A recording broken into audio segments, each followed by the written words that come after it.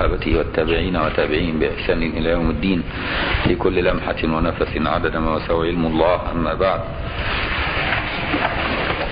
اللهم إنا نسألك يا أرحم الراحمين أن تعيننا على ما أقمتنا فيه وأن تفقهنا فيما أقمتنا فيه وأن تأخذ بأيدينا فيما أقمتنا فيه وتقنعنا بما أقمتنا فيه وترزقنا الشكر لما أقمتنا فيه اللهم إنا نسألك رضاك والجنة ونعوذ بك من سخطك والنار. فقهنا في أمور ديننا ودنيانا واجعل لنا فرقانا نفرق بين الحق والباطل وأدخلنا في كل الأمور مدخل صدق وأخرجنا من كل الأمور مخرج صدق واجعل لنا من لدنك سلطانا نصيرا. أحينا مسلمين وتوفنا مؤمنين غير خزايا ولا مفتونين. برحمتك يا أرحم الراحمين وارحمنا وارحم والدينا ومشايخنا وعلماءنا والمسلمين. أما بعد نكمل قراءة حاشية الشيخ إبراهيم البيجوري على شرح ابن قاسم الغزي على متن الغاية والتقريب للقاضي أبي شجاع في فقه السادة الشافعية رحمهم الله تعالى ونفعنا الله بعلومهم في الدارين آمين. ونحن ما زلنا في تفاصيل سجود السهو سجود السهو في الصلاة لها تفاصيل كثيرة على حسب الشيء الذي نسيته في الصلاة. فقلنا أن الذي تنساه في الصلاة إما أن يكون ركنا أو يكون بعضا أو يكون هيئة. فإن كان ركنا وجب أن تأتي به ثم تسجد للسهو. وإن كان بعضا من الأبعاد كجلوس التشهد الأوسط وقراءته والصلاة على النبي فيه والقنوت في الركعة الثانية من صلاة الصبح وكذا في الوتر في النصف الأخير من رمضان جهرا والصلاة على النبي صلى الله عليه وسلم فيه والقيام له. فإذا فتك هذه الأبعاد وجب يستحب يستحب ويسن ولا يجب أن تسجد للسهو ولا تعود إليها إن تلبست بفرض بعدها. أما إن لم تتلبس بفرض بعدها فلك أن تعود إليها إذا تذكرتها.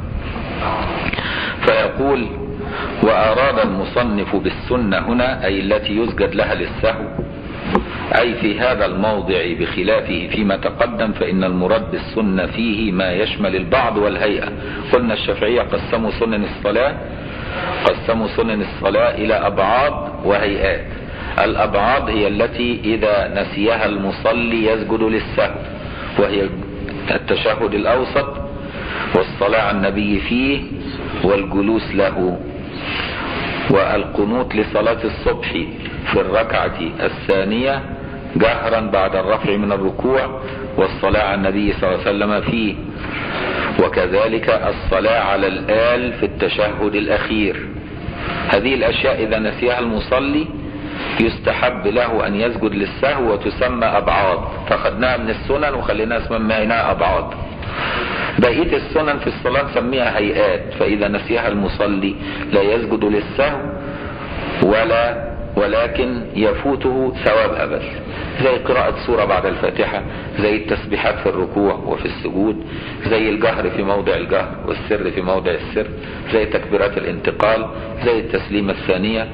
كل هذه سنن لكن إذا نسيها الإنسان لا يسجد للسهو وتسمى تمييزا لها عن السنن التي يسجد للسهو تسمى هيئات. أما السنن التي يسجد لها للسهو نسميها أبعاد. يبقى النقطة دي هامة فإن المراد بالسنة فيه ما يشمل البعض والهيئة لما يقول لك سنن الصلاة يبقى يشمل الإيه؟ الأبعاد والهيئات أما يقول لك السنن التي يسجد لها للسهو يبقى يقصد سنن مخصوصة وهي الأبعاد. وقوله الأبعاد الستة وأراد المصنف بالسنة هنا الأبعاد الستة يعني الأبعاد عدوها ستة الإمام الشافعي لكن بعد كده لما فصلوها لو توصل ل 20 لأن الإمام الشافعي أو إيه ذكرها موجزة يعني. لعل اقتصاري عليه لكونها هي الواقعة في كلام الإمام الشافعي وأصحابه. وإلا فالأبعاد عشرون كما تقدم. قوله وهي التشهد الأول. وقعوده. التشهد الأول وقعوده. ويتصور السجود لترك قعوده وحده بما إذا كان المصلي لا يحسن التشهد. هسه هتقول طب إزاي يقعد؟ يعني يترك قعوده. طب ما طالما قعد لازم هيتشهد. فهل ممكن يقعد ولا يتشهد؟ يبقى ترك التشهد ولم يترك القعود؟ آه ممكن لو لا يحسن التشهد. افرض مش حافظ التشهد تقول له في الركعة الثانية قبل ما ترفع للتاء تقعد للتاء تقعد فترة وبعدين تقوم. وبعدين يسجد للسهو لأنه ما قالوش. يبقى وفاته قراءته لكن لم يفته قعوده. وأحيانا الإنسان يقعد للتشهد الأوسط وبعدين يلاقي نفسه أرى الفاتحه فيه عشان سرحان وبعدين قام ويقول إيه ده؟ ده أنا قريت الفاتحه في التشهد الأوسط. يبقى في الحالة دي يسجد للسهو لأنه فاته قراءته بالرغم إن لم يفته قعوده. مش بتحصل الحاجات دي يبقى هذه الصور قد تحدث ويتصور السجود لترك قعوده وحده بما إذا كان المصلي لا يحسن التشهد. يبقى عليه قعود. ففي الحالة دي هيسجد للتشهد علشان فاته القعود فإنه يطلب منه أن يجلس بقدره فإذا لم يجلس فقد ترك القعود للتشهد الأول وحده. لأن الفرض يعني الفرض المفترض يعني في المسألة مش الفرض اللي هو الواجب. لأن الفرض في المسألة الشيء المفترض المثال يعني. لأن الفرض أنه لا يحسن التشهد. يعني افترضنا مثالا في هذه المسألة أنه لا يحسن التشهد. يبقى في الحالة دي فاته القعود لكن تفتكر هنا الفرض بمعناه إيه؟ الفقهي. لا الفرض يعني هو بيفترض لك مسألة. فلا يقال إنه تركه أيضا. وهكذا يقال في القنوت وقيامه. وكذلك ممكن لا يحفظ القنوت دعاء القنوت أو لا يحسن الدعاء. فنقول له لما ترفع من ال... من سمع الله لمن حمد الركوع في الركعة الثانية صلاه الصبح وقف شوية وقف شوية كده قدر القنوت. وبعدين اسجد. كويس؟ وفي الحالة دي برضه هيسجد للسهو لترك إيه؟ لترك قراءته لكن لا لترك قيامه. فإن ترك قيامه أيضا يبقى في الحالة دي هيسجد للسهو بقى من باب أولى لأنه ترك القيام وترك القراءة.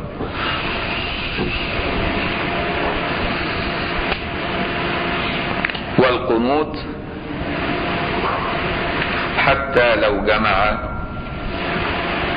يبقى الأبعاد هنا التشهد الأول وقعوده والقنوت في الصبح يعني. والقنوت حتى حتى يعني يعني يسجد للسهو حتى. لو جمع بين قنوت النبي صلى الله عليه وسلم وقنوت عمر وترك شيئا من قنوت عمر. مذهب الشافعية كده. الراجح يعني. في مذهب الشافعية إنه لو شرع في القنوت في صلاة الصبح وقال دعاء القنوت اللي هو وارد عن النبي صلى الله عليه وسلم واللي وارد عن سيدنا عمر بن الخطاب فنسي حاجة فيهم ما كملوش كويس يسجد للسهو لأن بشروعه فيه كأنه التزم أن يكمله فإن لم يكمله يبقى ناقص. لكن له ألا يدعو بهذا الدعاء بالذات يدعو أي دعاء ويبقى اسمه قنط لكن لو اختار دعاء النبي واختار معه دعاء سيدنا عمر فلم يكمله بصيغته الواردة يبقى قصر. يبقى في الحالة دي يسجد للسهو بالرغم انه قنط لأنه لم يكمل الدعاء على صورته الواردة. واضح؟ حتى لو جمع بين قنوت النبي صلى الله عليه وسلم وقنوت عمر وترك شيئا من قنوت عمر فالمتجه السجود يعني المتجه في المذهب ميالين معظم علماء المذهب إنه يسجد للسهو برضه يعني دليل إيه؟ إن في علماء مذهب قال لك خلاص تم القنوت وخلاص لأن ده مش قرآن ده دعاء. أنا مين للرأي التاني؟ إن هو دعاء وخلاص مش قرآن. أنا مين للرأي التاني؟ وإن كان المتجه في فقه الشيخ البيجوري انه هو يسجد للسهو لكن أنا يعني رأيي إنه خلاص طالما دعا يبقى لا يلتزم لأنه ليس قرآنا ملتزما به. واضح؟ لكن على أي حال مذهب الشافعية كده. فإذا صليت خلف إنسان شافعي وبعدين لقيته قال القنوت ولكن لم يتمه على الصورة الكاملة وبعدين سجد للسهو ما تتعجبش. لأنه ده وارد في المذهب. لا تتعجب منه. تقول له ما انت قنت يا عم الشيخ ليه سجدت للسهو؟ يقول لك أصلي لم أكمل القنوت على الصورة الواردة أو نسيت منه بعض الفقرات. يجوز. هو ده المتجه عند كثير من علماء المذهب. ولا يقال بل المتجه عدم السجود اللي هو اللي إحنا بنرجحه. بيرج بي يعني إيه؟ يعني بيحذر مما نرجحه لأنه هو يرى السجود. ولا يقال بل المتجه عدم السجود لأن ترك بعض قنوت عمر لا يزيد على تركه بجملته. وهو لا سجود له. بس بيقول لك ممكن تقول طب ده لو ترك قنوت سيدنا عمر بالكلية لا يسجد للسهو بقى لو شرع في جزء منه وما كملوش يسجد للسهو يبقى من باب أولى إنه لو تركه كله مش هيسجد للسهو يبقى من باب أولى لو قال جزء منه ما يسجدش للسهو برضه. فهو بيقول لك اوعى تفكر كده. اوعى تفكر بالطريقة دي. ليه؟ لأن نقول لما لما ورد بخصوصهما لأن له لأن نقول لما ورد بخصوصهما مع جمعه لهما صار كالقنوت الواحد. لما هو قالهم الاثنين مع بعض ووارد الدعاء بصيغة معينة يبقى صاروا الاثنين كالقنوت الواحد لأنه هو جمع بينهم. يبقى التزم بهما فألزم نفسه بهما. فطالما ألزم نفسه بهما يبقى يأتي بهما على الكمال فإن لم يأتي بهما على الكمال يسجد للسهو كويس؟ لكن لو ما شرعش فيهم يبقى ما ألزمش نفسه بيهم. يبقى ما فيش سجود سهو. يدعي أي دعاء ما يجراش حاجة. فهمت؟ ده رأي مين؟ الشيخ البيجوري وأنه وثقه من علماء المسجد لأن نقول لما ورد بخصوصهما مع جمعه لهما. لأن نقول بما ورد. آه هي بما أحسن. أصل لما دي مش عجباني. لأن نقول بما ورد بخصوصهما مع جمعه لهما صار كالقنوت الواحد. وعلى أي حال لما تمشي برضه؟ لأن عند العرب حروف الجر بتحل محل بعضها. لأن نقول بما ورد أو لما ورد بخصوصهما مع جمعه لهما صار كالقنوت الواحد والقنوت الواحد يطلب السجود لترك بعضه بخلاف ما لو عزم على الإتيان بهما معا ثم ترك أحدهما. فالأقرب عدم السجود. الصورة الثانية بقى إن هو ناوي يقنط بالدعاء الوارد عن النبي واللي وارد عن سيدنا عمر. فاكتفى باللي وارد عن النبي ولم يشرع في دعاء سيدنا عمر. لا يسجد للسهو بالرغم انه كان ناوي يجيب الاثنين لكن ظهر له في الآخر انه خلص دعاء النبي كده وخلص يبقى ما يسجدش لأنه لم يشرع فيه. لم يشرع فيه فمن قص واضح؟ واكتفينا بالدعاء الوارد عن النبي. دي الصورة الثانية غير الصورة الأولانية إن هو إيه؟ شرع فيهما فلم يكمل أحدهما. يسجد للسهو. الثانية عزم أن يشرع أن يدعو بهما فدعا بأحدهما واقتصر. لا يسجد للسهو. لأنه ما فيش نقصان. فهمت الصورة الثانية؟ هو عمر أنا يعني. اللي هو هيجيبه لك دلوقتي. آه. ال- آه، آه، يعني أنا يعني قريته كتير لكن ما تعمدتش أحفظه. إليك نحفد و, و... آه؟ إليك نسعى ونحفد. نخلع من يكفرك وأنا بخاف أشرع فيه لأن أنا مش حافظه بالنص. وبعدين كده يقولوا لي اسجد للسهو والشيخ البيجوري يزعل مني ما اسجدش للسهو. فما برضاش اقوله في الصلاة لأن مش حافظه بنصه يعني عارف معناه ها؟ وإحنا سبق وقريناه. لكن على اي حال لو إيه لو عزم ان يقولهم الاثنين فاكتفى بأحدهما لا يسجد للسهو. لكن لو شرع فيهم الاثنين وناقص أحدهما يسجد للسهو. واضح؟ هو التشهد الاوسط عشان ما نبقاش بعيد يعني ال- الجلس قراءة الفاتحة أو جلس ولم عليه سجود سهو آه يعني سجدتين سوا في الآخر. حضرتك بالنسبة للمنفرد ولا الكلام ده كله بقى تقرا تسمع الدرس اللي فات. لأن إحنا قعدنا فيه ساعة. الحتة دي بالذات. تسمع الدرس اللي فات. يعني شايف الصفحة دي كلها كانت فيها ده بخلاف ما لو عزم على الإتيان بهما معا ثم ترك أحدهما. فالأقرب عدم السجود لأنه لا يتعين إلا بالشروع فيه. ما يتعينش إلا بالشروع فيه. ولو ترك القنوت تبعا لإمام الحنفي دي مسألة ثالثه بقى هو بيصلي خلف خلف إمام حنفي. أو حنبلي. لا يرى القنوت يعني في صلاة الصبح. أو وهابي في هذا العصر. لا يقنطون في صلاة الصبح كذلك. وهي علامة فيه. واخد بالك؟ تعمل أنت إيه؟ ادي الصورة بقى. ولو ترك القنوت تبعا لإمامه الحنفي سجد للسهو هو هيتبع امامه الحنفي مش هيقنط خلاص. يبقى هو يسجد للسهو بعد ما امامه الحنفي يسلم هو ما يسلمش. يروح ساجد للسهو ويسلم. كويس؟ دي صورة وكذا لو تركه إمامه المذكور وأتى به هو. قال لك إيه؟ طيب افرض إن هو أتى به هو. يعني الإمام الحنفي قال سمع الله لمن حمد ربنا لك الحمد. وقعد شوية قال أي حاجة كده في سره. فانت استغليت الفرصة ورحت أنت قلت دعاء القنوت بتاعك. كراجل شافعي بتصلي مأموم وراه يقول لك برضه يسجد للسهو لتطرق الخلل في صلاة إمامه على الخلاف. كل ما يقول لك وكذا يبقى فيها وجهين أما يقول لك في الغالب كده معظم متأخري الشافعيه في كتابهم. يقول لك وكذا يعني وكذا الصورة اللي جاية دي يعني فيها وجهين اللي بعده وكذا. دي في الغالب أغلب أحوالهم كده. يعني كأن في وجه يقول لك لو قنت هو خلف إمام الحنفي لا يسجد للسهو. واللي رجحه الإمام البيجوري قال لك برضه يسجد للسهو حتى لو قنت هو. ليه بقى؟ قال لك لتطرق الخلل في صلاة إمامه. وهو مقتدي به فبيسجد للسهو لأن إمامه بيتحمل سهوك سهو المأموم وأنت يؤثر خلل صلاة الإمام عليك كما أنه يتحمل. فأنت بتسجد للسهو لجبر خلل صلاة إمامك لأنك أنت مرتبط صلاتك به. سواء قنت أو لم تقنط طالما هو لم يقنط لدرجة إن في سورة رابعة قال لك ولو قنت الحنفي. يعني إمام أحناف حنفي بيصلي في جامع كله شافعي فهو بيجاملهم. قدموه يصلي بيهم للصلاة الصبح فبيجاملهم راح قنت وانت عارف ان هو لا يرى القنوت يقول لك يسجد للسهو لأنه لا يرى القنوت سنة.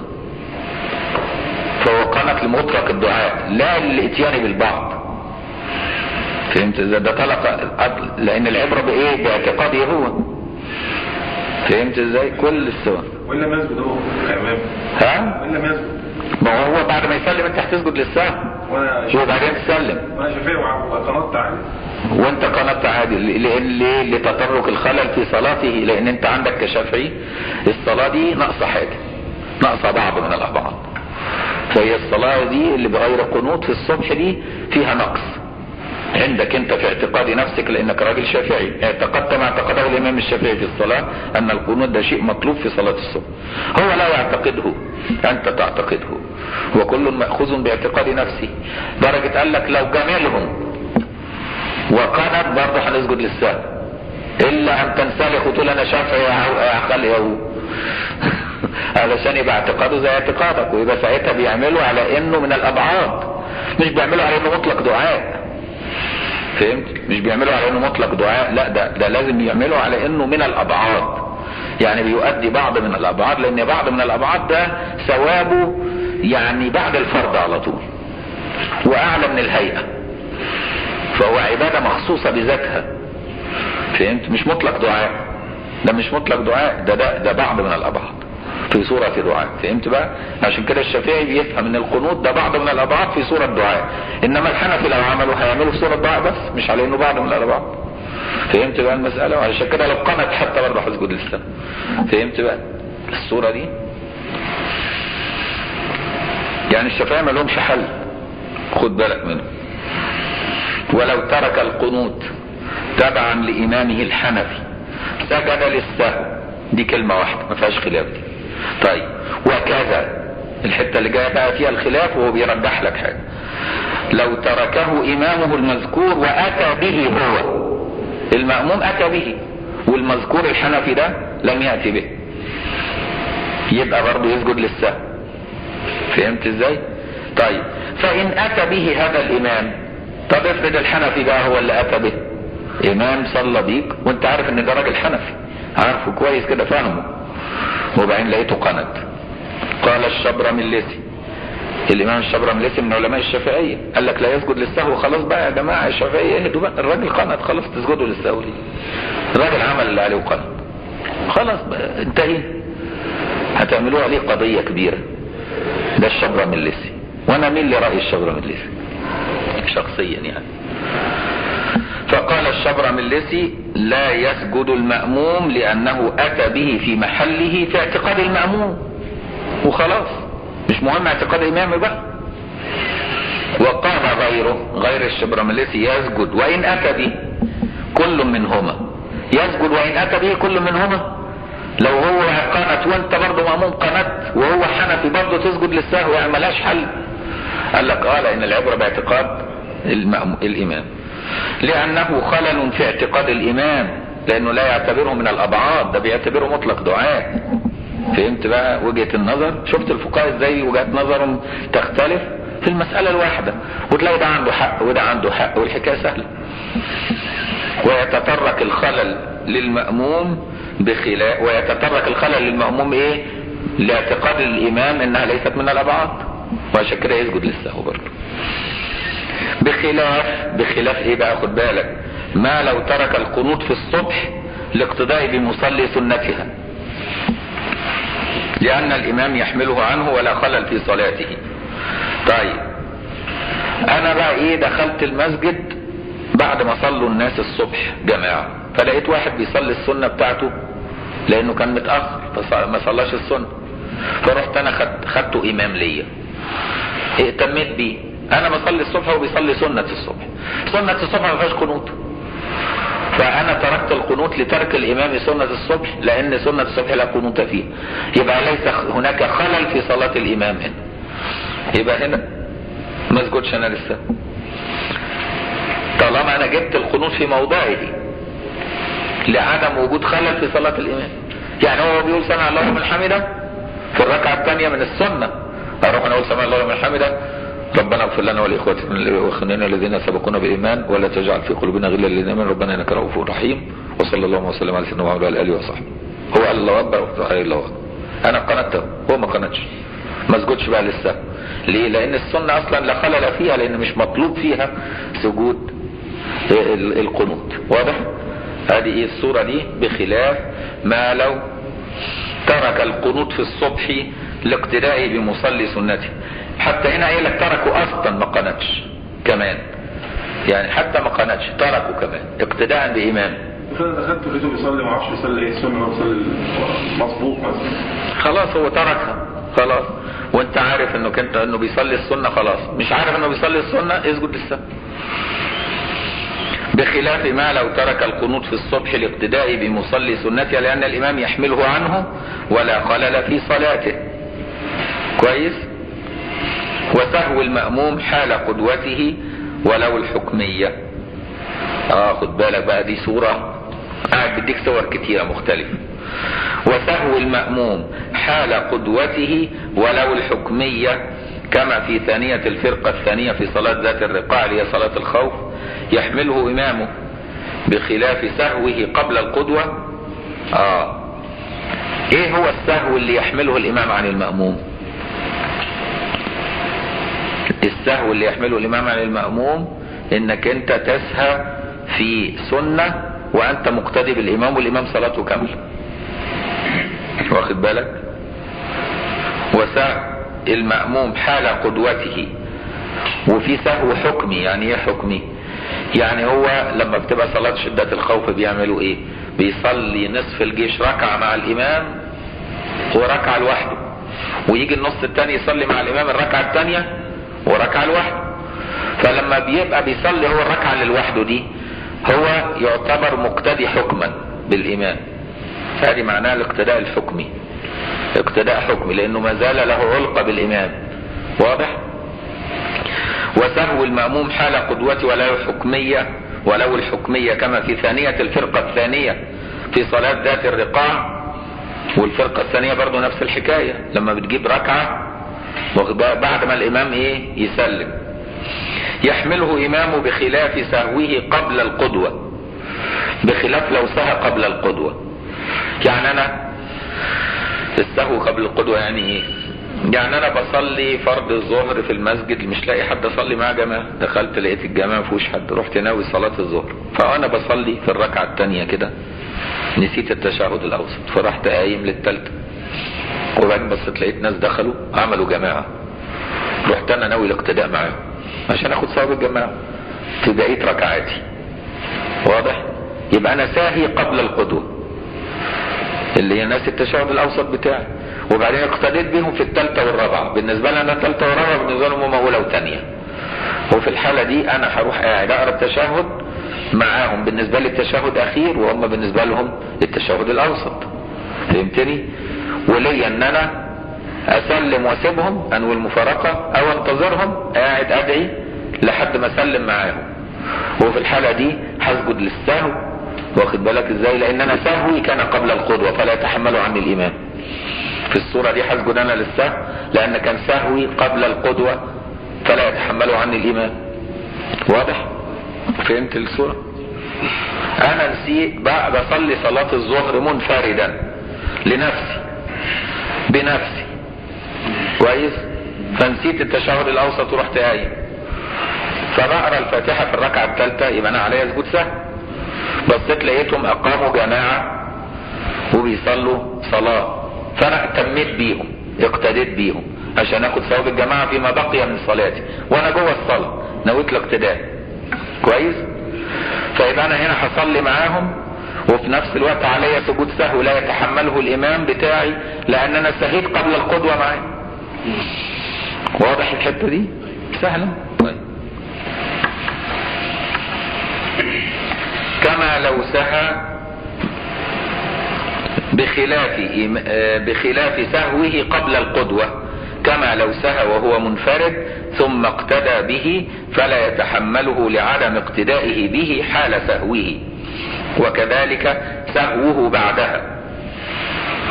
يعني بعد القدوة. يبقى سهو قبل القدوة وسهو بعد القدوة لا يتحمل إمام تتحمله أنت عن نفسك. في سهو بعد القدوة يعني أنا بصلي مع الإمام مسبوق فأدركتهم في الركعة الأخيرة. فرحت مصلي معاهم الركعة الأخيرة. الإمام سلم قمت أنا جيت بقيت صلاتي. فبقيت صلاتي نسيت التشهد الأوسط. أو نسيت قنوت الصبح. يبقى أنا نسيت بعد القدوة. يبقى هنا ما يتحملوش الإمام أسجد لسه. واضح؟ لأن أنا نسيت بعد القدوة. يبقى في صورة أنسى قبل القدوة فلا يتحملها الإمام وفي صورة أنسى بعد القدوة فلا يتحملها الإمام أيضا. لكن لو نسيت أثناء الاقتداء والإمام عملها يتحملها الإمام. واضح الحتة دي؟ طيب. يعني أنا بصلي مأموم وقعدت أقرأ التشهد الأوسط ف فاتني قراءة التشهد الأوسط. قعدت سرحان كده فوصلت الإمام قرأ التشهد الأوسط صلاته كما وقام وأنا ما قريتوش يتحمله الإمام عنه. أو قريت الفاتحه مثلا. أو قريت الفتح. يتحمله الإمام عنه. لأن هنا فيه قدوة فيشيلها الإمام عنه. وكذا سهوه بعدها يعني بعد القدوة كما لو سهى بعد سلام الإمام سواء كان مسبوقا أو موافقا لانتهاء القدوة. فلو سلم المسبوق بسلام الإمام فتذكر حالا. بنى على صلاته وسجد للسهو. يعني أنا مسبوق فالإمام سلم وأنا المفروض إن أنا ما اسلمش أقوم أجيب فرحت مسلم مع الإمام سهوا. وبعدين افتكرت ورحت قايم أكمل بقية صلاتي. يبقى هنا هسجد للسهو. لأن أنا هنا عملت السهو بتاعي اللي هو السلام في غير موضعه بعد انقضاء القدوة لأن أنا ما سلمتش إلا بعد سلام الامام مش كده برضه واضحة الحتة دي؟ سهلة. هنا ما منقطعت الصلاة اللي قدوة انقطعت قدوة بسلام الإمام فأنا رحت سلمت بسلام بعد سلام الإمام ولكن أنا ما كانش عندي سلام. أنا المفروض أقوم أجيب بقية صلاتي. فأنا سلمت سهوا. يبقى هنا انقطعت القدوة وعملت النسيان بعد انقطاع القدوة. يبقى أنا عليا اسجد سهو أقوم أجيب صلاتي وأسجد للسهو لا ما هو هقوم على طول. الله أكبر. طالما لم يطل الفصل. يبقى السهو البعيد عن القدوة أنا مش هسجد. وأنا ورا الإمام ما بسجدش لو سهيت خلف إمامك الإمام يتحمله عنك. واضح؟ أيوه. فتذكر حالا بنى على صلاته. أيوه. دلوقتي أنا دخلت لقيت حضرتك بقى بتصلي الصبح حياتك في ركعة. ما هو في ركعة الثانية المفروض أنا بعمل قنوت. أنت عملت قنوت أنت في وأنا. هتجيب قنوط في الركعة بتاعتك أنت التانية على الراجح. طيب. طب لو لو أنا جيت طب بصلي ورا واحد وهو بيصلي السنة. ولقيت معاه ركعة. هتجيب أنت قنوط في الركعة التانية؟ آه ولو ما جبتش تسجد للسهو لأن انقطعت القدوة خلاص. آه. لكن على أي حال لو أدركت مع الإمام الركعة التي فيها القنوت وبتجيب بعد كده ركعة فهيبقى عندنا وجهين وجه راجح ووجه مرجوح. الوجه الراجح ان الركعة اللي أنت بتجيبها لوحدك دي بالنسبة لك هي التانية وده موضع القنوت. طب والقنوت اللي عملته مع الإمام؟ قال لك ده للمتابعة بس لأن بالنسبة لك دي كانت الركعة الأولى ودي ليس موضع قنوت. وبالتالي يبقى الراجح إنك هتجيب قنوت تاني. كويس. في وجه تاني قال لك لا انت لما بتصلي مع الامام بتبقى الركعة اللي بتصليها مع الامام هي نفس ترتيب صلاة الامام. فانت بالنسبة لك دي تانية برضه. وبعدين بتقضي اللي عليك فبالنسبة لك دي أولى. ويبقى ما فيهاش قنوت لأنك انت قنطت في الركعة الثانية مع الامام وبالنسبة لك كانت ثانية على اعتبار قول النبي ما أدركتم فصلوا وما فاتكم فاقضوا. الرواية كده فاقضوا. وفي رواية فأتموا. وفي رواية فأتموا. فرواية فاتموا قال لك يبقى أنت بتبدأ بالركعة الأولى بالنسبة لك وبالنسبة للإمام ترتيبها عادي زي الإمام.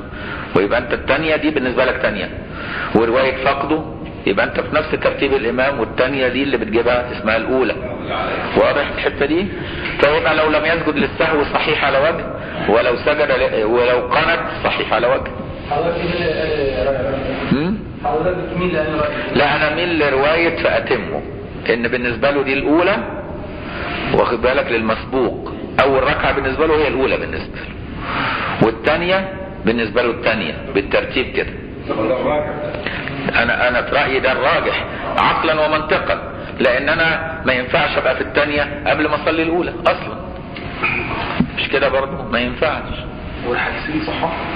الحديثين صحاح بس قالوا إن رواية فاتموا أولى لأن الصحابي قد يروي بالمعنى. فيروي على حسب ما فاهم هو شايف النقد زي أتمه فقالها فقده فنقول لما تبقى عندنا روايتين نبتدي والاثنين صحيحين نقول ربما يكون الرواية المخالفة للترتيب العادي المنطقي للصلاة تكون رواية صحابي بالمعنى. فنرجح رواية فأتمه لأنها إيه؟ مع ترتيب الصلاة العادي المعتبر وعشان كده هو ده الراجح.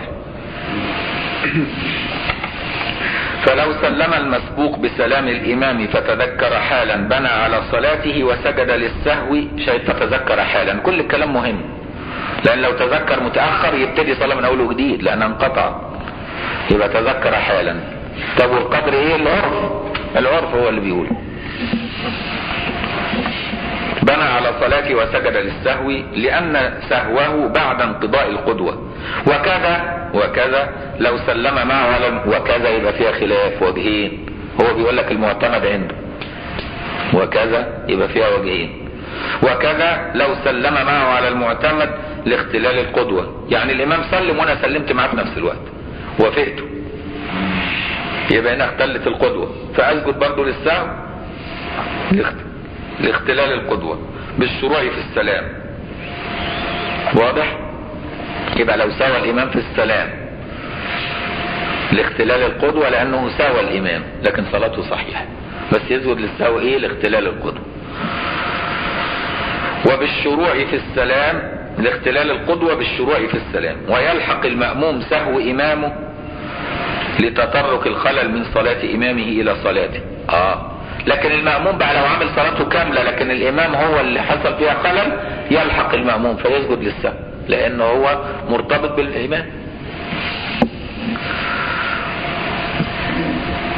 ويلحق المأموم سهو إمامه لتطرق الخلل من صلاة صلاة إمامه إلى صلاته ولتحمل إمامه عنه سهوه. كل دي المسوغات إنك أنت هيلحق صلاتك خلل لو لو الإمام سهى حتى لو أنت ما كانتش صلاتك ليه لأن الإمام أصلا بيتحمل سهوك. مش كده برضو؟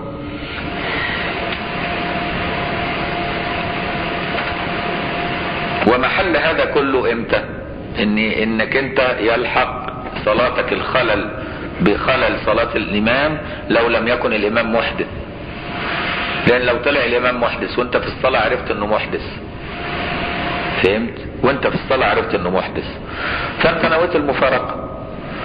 وبعدين هو كان ناسي.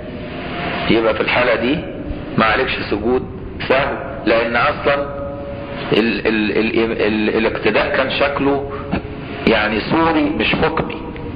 حكما ما فيش اقتداء لأنه ما ينفعش يبقى إمام وهو محدث. فهمت؟ هي صورة نادرة يعني. لكن هو بيقول لك ومحل هذا كله إذا لم يكن إمامه محدثا فإن بان إمامه محدثا. بان إمامه محدثا فلا يلحقه سهو. ولا يتحمل هو عنه سهو إذ لا قدوة في الحقيقة. لا قدوة في الحقيقة. يبقى والقنوت في الصبح أي في ثانيته. القنوت في الصبح اللي في ثانيته.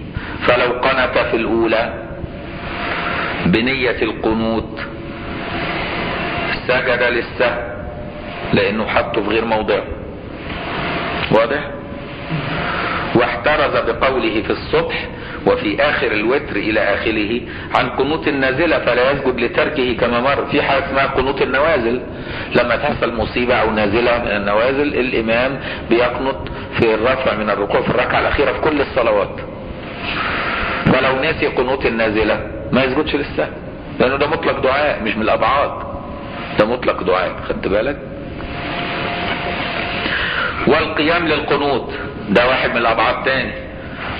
ويتصور ترك القيام للقنوت ويتصور ترك قيام القنوت وحده بما إذا كان لا يحسن القنوت. فإنه يسن له القيام بقدره. فإذا لم يقم بقدره فقد ترك القيام للقنوت وحده دون القنوت. لأن الفرض اللي هو المفترض يعني في المسألة أنه لا يحسنه كما تقدمت الإشارة إليه. والحاجة اللي بعد كده كمان يسجد لها للسهو لو سابها والصلاة على الآل في التشهد الأخير. لو ما لو صلى في التشهد الأخير.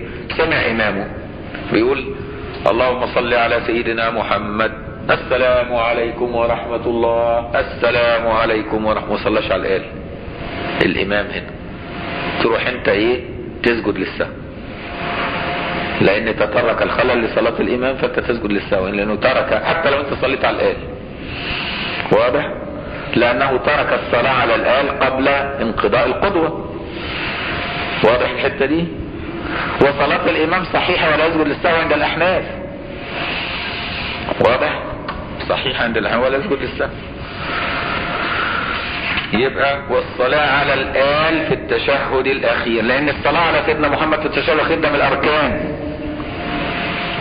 من الأركان فلو ترك تبطل الصلاة عندنا عند الشافعي يبقى الصلاة على النبي صلى الله عليه وسلم في التشهد الأخير. بخلافها في التشهد الأول فلا تسن. التشهد الأول لا يسن الصلاة على الآل التشهد الأول اللي هو الأوسط. بينتهي عند قولك اللهم صل على سيدنا محمد بعد الشهادة وتقوم. فلو قال اللهم صل على سيدنا محمد وعلى آل سيدنا محمد ما يجراش حاجة لكن لا يسن الصلاة على الآل في التشهد الأوسط. عندنا. يبقى يسن الصلاة على سيدنا محمد في التشهد الأوسط ويجب الصلاة على سيدنا محمد في التشهد الأخير ويسن الصلاة على ال... على الآل في التشهد الأخير ولا يسن الصلاة على الآل في التشهد الأوسط. سهل الحتة دي؟ طيب. واستشكل تصور السجود لترك الصلاة على الآل في التشهد الأخير بأنه إن علم تركها قبل سلامه أتى به. أو بعده وقبل طول الفصل فكذلك أو بعد طول الفصل فاتت ولا سجود.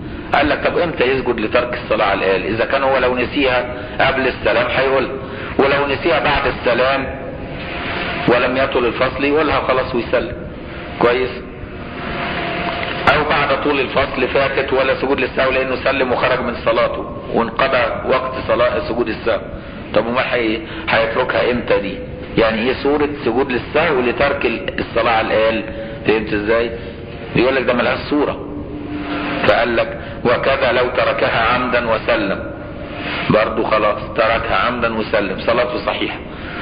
ومعلوش سجود سهو لأنه سلم ومشي. وإحنا سجود السهو موضعه قبل السلام. طب أمال إمتى يسجد للسهو لترك الصلاة على الآل؟ أجيب بأنه يتصور السجود لترك إمامه لها فإذا سمعه يقول اللهم صل على سيدنا محمد السلام عليكم أو كتب له إني تركت الصلاة على الآل أو أخبره بذلك سجد للسهو جبرا للخلل الذي تطرق إلى صلاته من صلاة الإمام كما مر تصويره في الكلام على الأبعاد. واضحة الحكاية دي؟ المذاهب كده. كل ده مذهب شافعية. يعني قصدي الملكية لو قدام الإمام ده مالكي. الملكية أصلا الصلاة على النبي والآل أصلا من السنن. وإذا تركها يسجد للسهو عند الملكية برضه لكن لو تركها بالكلية صلاته صحيحة.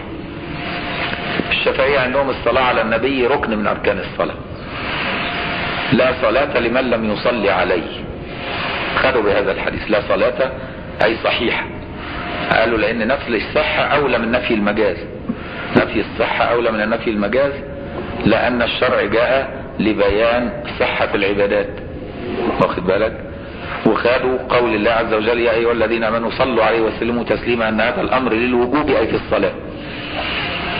واخد بالك؟ بدليل أنها لما نزلت هذه الآية يا أيها الذين آمنوا صلوا عليه وسلموا تسليما قالوا لرسول الله يا رسول الله إنا علمنا كيف نسلم عليك فكيف نصلي؟ وكانوا بيسلموا عليه في التشهد في الصلاة. فقال لهم قولوا اللهم صل على محمد وعلى آل محمد كما صليت. فورد التشهد الجزء الأخير من التشهد ورد توجيه النبي ليهم بعد نزول الآية عشان يقولوا في الصلاة. فالشافعيه فهموا إن الآية هنا الأمر فيها أي للوجوب حال الصلاة. وطالما وجبت حال الصلاة بقت من اركانها فهمت بقى وجهة نظر الشافعيه لأن في حاجة اسمها علم أسباب الحديث النبوي. زي ما علم أسباب النزول في القرآن علم أسباب الحديث النبوي. تشوف الحديث ده كان سببه إيه؟ لأن قد يكون سبب ورود الحديث حل للغز الحكم المستمد من الحديث. فهمت إزاي؟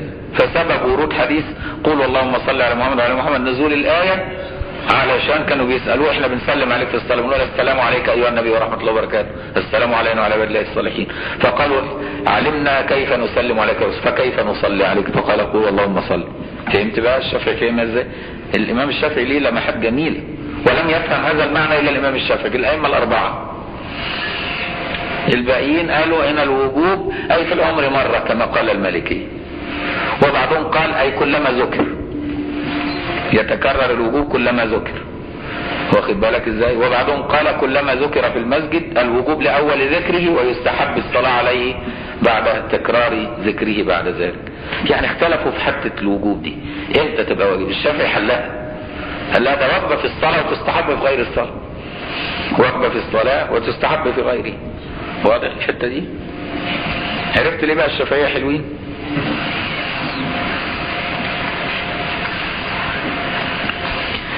قوله والهيئة. يبقى إحنا خلصنا كده الأبعاد. نيجي بقى في الهيئات اللي هي لما ينساها ما يسجدش للسهو خلاص دي سهل والهيئة وتقدم انها السنة. أيوه. وما سجدتش. صلاتك صحيحة. صلاتك صحيحة. لأن سجود السهو أصلا حكمه سنة مش واجب. فلو أنت عليك سجود سهو وبعدين أنت نسيت أصلا تسجد للسهو ما هو ساعات الواحد يبقى. النسيان راكبه من جميع الجهات. يعني نسي التشهد الأوسط وقال هبقى أسجد للسهو في الآخر. يجي في الآخر ينسى كمان يسجد ما يجراش حاجة. صلاته صحيحة. ولو سهل في السهل. ولو سهى في السهو ما يجراش حاجة برضه. يسهى يعني بايه في السهو يعني ملي يعني يعني سبب للسهو ارى التشهد بعديه. ده يتصور. خلاص ما قالوش حاجة. يسلم. وخلاص. ويروح بقى. هيفضل قاعد لنا كده. يسلم ويروح. السهو طول ما هو ساهي لا عبرة بسهو يفضل بقى إيه كده؟ بس طبعا المأساة في اللي بيصلي وراه هو اللي اتحبس وراه بقى. فعليا والمفارقة ويسيبه هو بقى شغال في الشغلانة لكن على أي حال الناسي خلاص ناسي والهيئة وتقدم أنها السنة التي لا تجبر بسجود السهو. كالتسبيحات بيديك إيه؟ تشبيه. ليه الكاف دي للتشبيه يعني بيشبه لك بعض الهيئات يعني. كمثال يعني مثال للتسبيح كالتسبيحات أي في الركوع والسجود وقول ونحوها أي كالتكبيرات للانتقالات. قال لك للانتقالات مش تكبيرة الإحرام تكبيرة الإحرام ركن. إنما التكبيرات الانتقال دي إيه؟ هيئات. وقراءة السورة بعد الفتحة لو نسي قراءة السورة بعد الفتحة ما يسجدش للسهو يعني الإمام قرأ الفاتحة وراح قايل الله أكبر. في الصلوات الجهرية خلاص امشي وراه. مش تعملش مشكلة يعني. اركع وراه وخلاص وما يسجدش للسهو كمان. فيهاش حاجة وصلاته صحيحة. الملكية عندهم لو نسي السورة يسجد للسهو. الملكية كده لكن الشافعية لا. وقراءة السورة والتعوذ. نسي أعوذ بالله من الشيطان الرجيم. قال بسم الله الرحمن الرحيم الحمد لله رب العالمين طول ما قالش أعوذ بالله من الشيطان ما يجراش حاجة. نسي دعاء الاستفتاح ما يجراش حاجة. كل دي اسم الهيئات. كويس؟ والتعوذ ودعاء الافتتاح إلى آخر الهيئات المتقدمة. جهر في غير موضع الجهر. جاء بيصلي الظهر راح قاعد يجهر بالناس. بيصلي المغرب جهر في الثلاث ركعات. زي أنا عملتها مرة بالناس. لقيت نفسي جهرت في الثلاث ركعات. طب أنا عملت كده؟ لقيت نفسي كده. بعد وأنا راكع في الركعة الثالثة قلت أنا إيه اللي خلاني أجهر في الركعة الثالثة؟ بتحصل واحد ناسي. وهيقولوا إيه بقى لقوا الامام فرحان بصوته وقاعد شغال بيقرا الفاتحه سكتوا نسيانا يعني ممكن تحصل أو تيجي بتصلي الظهر تلاقي نفسك جهرت. وبعدين اتميت كده ركعة. وبعدين الركعه الثانية أصريت لأن افتكرت إنك في الظهر بقى. أو تيجي في صلاة العشاء قلت الله أكبر وصليت سرا. والناس قعدوا يقروا سرا خلاص وقلت الله أكبر ركعة وراك ومشيت الصلاة. يعني تركت الجهر في موضع الجهر أو تركت السر في موضع السر. كل ده لا يسجد له للسهو والصلاة صحيحة. سهلة؟ برضه ما حطش إيده على اليمين على اليسرى كده. لا واقف كده حاطط إيده جنبه. مثلا. ما ده دي هيئه من الهيئات ما فيهاش مشكلة. أو في ناس تروح عامل كده اهو مكتف نفسه كده مربع كده. طبعا الهيئه دي غريبة ما سمعناهاش عن حد من الأئمة قالها لكن هو هو سمعها كده إن لازم يضع يده اليمنى على كوع اليسرى. وهو ده فاهم إن ده الكوع وده المرفق. هو لما قراها فهم إن ده الكوع لأنه عمي من العوام. ده اسمه المرفق. الكوع هنا أهو. الكوع أهو. اللي هو عند الرسل. أيوه. فهو فهمها بمعنى العوام. فتلاقيه وقف عمل كده. فما يجراش حاجة. صلاته صحيحة. ولا يسجد للسهو كمان. فيهاش مشكلة. لأن دي من الهيئات.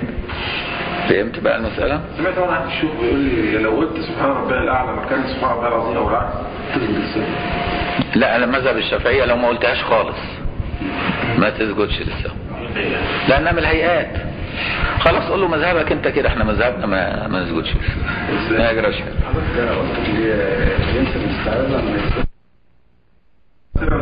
ده يتوبوه برضه. ليه؟ هي عورة تسكت ليه بتقولها سرا؟ يا ابني اجهر بيها دي جزء من الفتحة ابني. تجهر فيها كما تجهر بالفاتحة وتسر بها كما تسر في الفاتحة ويمسكوه يقعدوا يأدبوا فيه. الشفاية ويعذروه وقوله مما لا يجبر بالسهو إلى آخر الآيات المتقدمة وقوله مما لا يجبر بالسجود ببيان لنحوها. وقد مثلناه لك لا يعود المصلي إليها. إماما كان أو مأموما يعني أنا قلت الله أكبر في الركعة الأولانية بسم الله الرحمن الرحيم وبدأت أقرأ الفاتحة ما ارجعش بقى أقول دعاء الاستفتاح ولا أقول أعوذ بالله من الشيطان وأسب بالفتحة خلاص ما أقعدش دي. انتهينا أمشي بقى وأكمل صلاتي واضح؟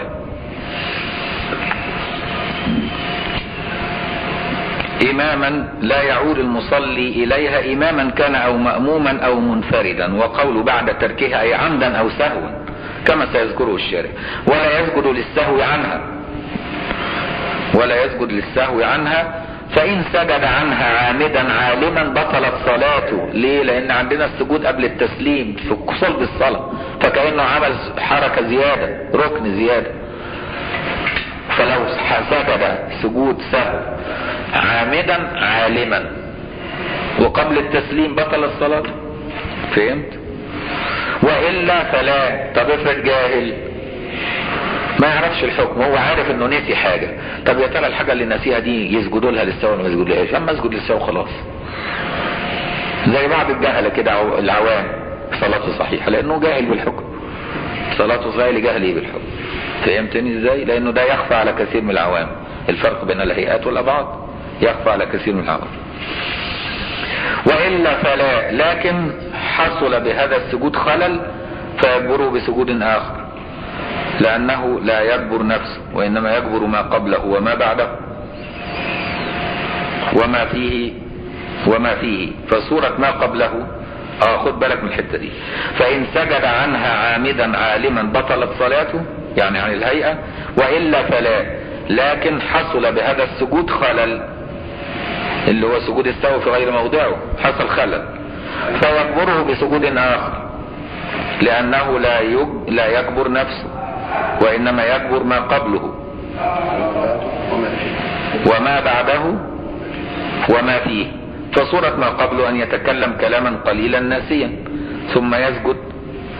وصورة ما بعده أن يسجد ثم يتكلم بكلام قليل ناسيا. وصورة ما فيه أن يتكلم بكلام قليل ناسيا في سجوده. فلا يسجد ثانيا لأنه لا يأمن من وقوع مثل هذا مثل ذلك في السجود الثاني. وهكذا فيتسلسل. وكذلك لو سجد ثلاث سجدات فلا يسجد ثانيا للتعليل المذكور. وهذه المسألة هي التي سأل عنها أبو يوسف صاحب أبي حنيفة الكسائي إمام أهل الكوفة كما أن سيبويه إمام أهل البصرة حين ادعى أنه من تبحر في علم اهتدى به إلى سائر العلوم فقال له أبو يوسف أنت إمام في النحو والأدب فهل تهتدي إلى الفقه؟ فقال سل ما شئت. فقال لو سجد سجود السهو ثلاثا هل يسجد ثانيا؟ يعني بيمتحنوا. أبو يوسف بيمتحن إيه سيبويه. سيبويه كان رأيه إن اللي يتبحر في أي علم من العلوم يهتدي لسائر العلوم. فأبو يوسف قال له أنت تبحرت في النحو. طب أنت اهتديت في الفقه؟ قال له آه. اسأل. فراح سأله السؤال ده. فقال له إيه؟ قال له لو سجد سجود السهو ثلاثا هل يسجد ثانيا؟ قال لا لأن المصغر لا يصغر وتوجيه أن المصغر زيد فيه حرف التصغير كدريهم في درهم ونص على أن المصغر لا يصغر ثانيا ومعلوم أن سجود السهو سجدتان. فإذا زيد فيه سجدة فقد أشبه المصغر في الزيادة فيمتنع السجود ثانيا كما يمتنع التصغير ثانيا. وهذا توجيه دقيق فخرج من المسألة حلوة. فجاوب له إجابة حلوة سيبوي. قال له ما هو المصغر لا يصغر ثانيا. أنا سجدت سجود ثلاث سجدات سجود السهو اثنين. فهو اصغر من الثلاثة فالمصغر لا يصغر عندنا في النحو وكذلك في الصلاة. فهمت الحتة دي؟ نباهة يعني. وهذا توجيه دقيق كما نقل عن الأستاذ الحفناوي. وإذا شك دي بقى سبب آخر لسجود السهو وإذا شك المصلي في عدد ما أتى به من الركعات. دي هنقف عليها نكملها الدور الجاي إن شاء الله اللي هو حالة الشك في عدد الركعات نفسها. برضو دي بيثني على الأقل ويسجد للسهو دي مش ضمن الأسباب بتاعت فدي هنكملها إن شاء الله في يوم السبت القادم بإذن الله تعالى. في أوائل المكذوب دايما بعد ما يخلص صلاته تنسى حتى لو ما فيش لو بعد التسليم لا بأس مش مشكلة قبل التسليم. قبل التسليم وده مكذوب بقى مالناش دعوة بيه. أنت هتاخد علمك من المجازين يعني بيصلوا وراه يعني يستنوه ولا ينوي الفرض ما هو لا أنت ت- تنوي وراه ليه بقى؟ لأن قد يكون بينسى فعلا. وانت ما تعرفش يمكن نسي التشهد الأوسط. فأنت مقتدي بيه؟ انت مقتدي بيه تسجد للسهو في الاقتداء لأن أنت لازم تحسن الظن بيه. واخد بالك؟ لكن أنت ما تسجدش للسهو على الفاضي وعلى المليان زيه في صلاتك لأنك لا تقتدي بالمكذوب أنت في إيه؟ في غير الصلاة. مش كده برضه؟ أيوه. السجود سهل. ما في مجازيب كانوا يتكلموا جوه الصلاة. يبقى جوه الصلاه كده وواحد معدي عليه يكلمه وبعدين مستمر في الصلاة. إحنا مالناش دعوة. آه. سرقها مين؟ حسن ولا مش عارف. سرقها سيد. أي. لما كان بيصلي في الصلاة وبعدين جاء واد خادم المسجد سرق الحذاء بتاع الشيخ.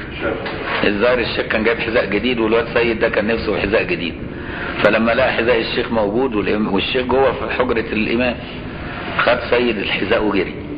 والجرع المكذوب ده قاعد بيصلي. فالراجل الشيخ خرج من حجرته بيدور على الحذاء بتاعه ما لقوش أما قال له هو جوه الصلاة سرقها سيد الله أكبر. كان في الازهر حكى لنا الدكتور علي جمعة. آه. أيوه. في حاجة تاني؟ أيوه. سجدة السهو دي قبل الصلاة أو بعد الصلاة. في ناس بتقول كده. لا ما إحنا قلنا الشافعيه إحنا الشافعيه قبل التسليم مطلقا مطلق. آه.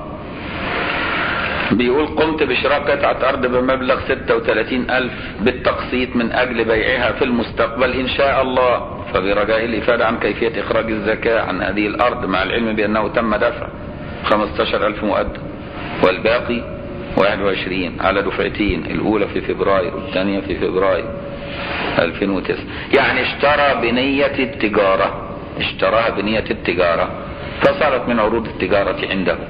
كويس؟ فيبقى المبلغ اللي دفعه ده في الأرض ده يطلع ربع عشر لما يحول الحول.